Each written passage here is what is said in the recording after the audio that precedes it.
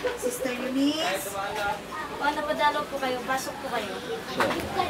Eunice, sama ka, may fellowship sa simbahan. Tara, may gawain. Sa sunod na lang po, marami po kasi akong ginagawa eh.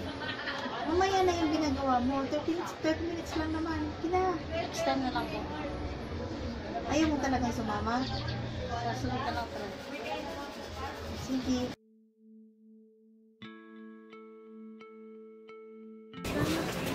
Oh, nandiyan pala kayo? Oh, pre, tara tayo, pre. Sagot ko, marami akong pera ngayon. Sagot ko. Kuha ka na, pre. Ano bibili ako? Ano na ba nangyari doon kala ano? Kala Tio. Kumarin ko lang eh. Oh, palitan ka. Mukhang ano ah. Mga alas 9 na siguro pare kasi may pupunta pa tayo mamaya, di ba? Pre, set mo na, pre. Di ba? Para sa pagkakaibigan. Ay, sarap. Sige, pre, patagayin mo.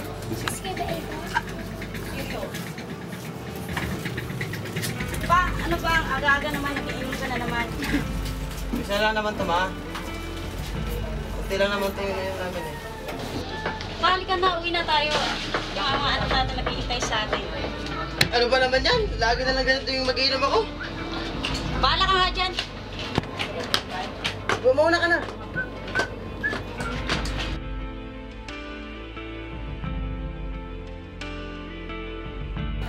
Paano na mga pre? Kasing na ako, di ko na kaya. Ah, Oh, bumauna na muna ako. Baka magdalitan tayo na yung misis niya. oh, sige, pre. Ingat lang, pre. Okay.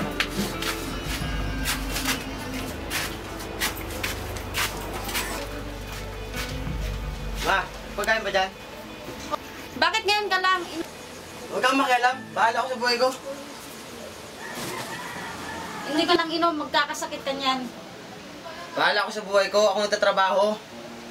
Wala kang pakialam. Bahala. Ah.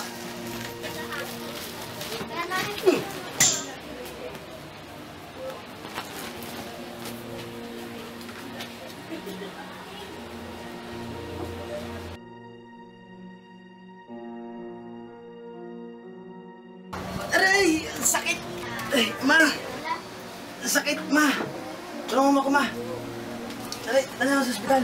Ang sakit talaga, ma. Hindi ko kaka... Basta sobrang sakit. Hindi ko alam. Tulong! Tulong!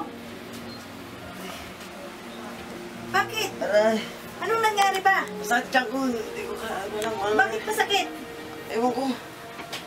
Eh, hindi ko alam ang gagawin dito. Ako sa ospital. Tara, tara, tara. Punta tayo sa ospital. Hihingi tayo ng tulong.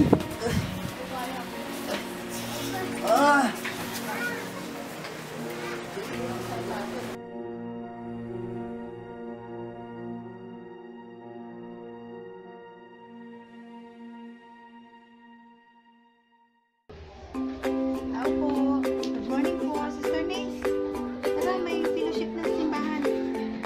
Tayo sa.